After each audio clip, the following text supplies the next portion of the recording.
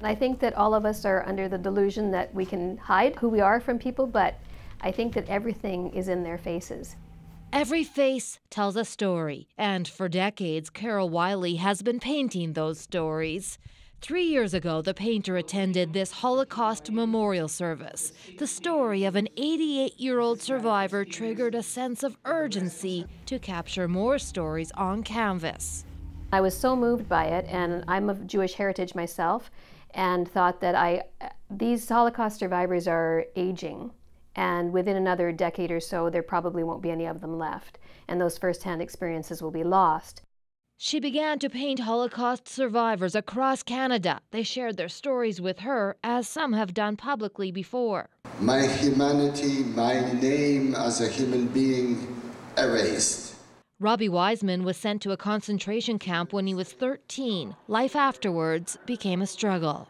We had to learn how to laugh and how to cry. We didn't know how. We were so dehumanized.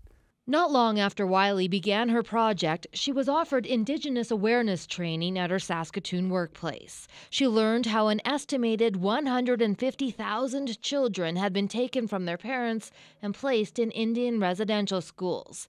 The intent was assimilation, not annihilation, but still, Wylie was struck by some of the similarities between survivors. They cut hair when they enter the residential schools and the, the concentration camps, their hair was cut, they were assigned numbers, and these are all, these are all methods of othering and dehumanizing people. So this is uh, Louise. So she decided to expand her project. And then this is Eugene Arcand. Cree elder Eugene Arcand was sexually abused in residential school and lived in shame for decades.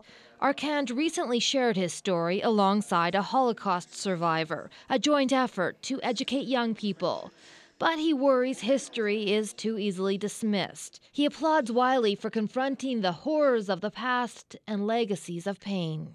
Courageous woman to do what she's done here and accept the truth, stop avoiding the truth. Wylie has painted 18 portraits, half from each group. Sadly, as she feared, a couple have already passed away, including Holocaust survivor Bill Glied. Those who do not remember the past are condemned to repeat it. But she's hopeful the portraits and lessons will live on. If we can build some compassion that way to understand that every person feels pain the way that we do, maybe as a, as a society or as a human race, we will be a little more reluctant to inflict that kind of suffering. Bonnie Allen, CBC News, Regina.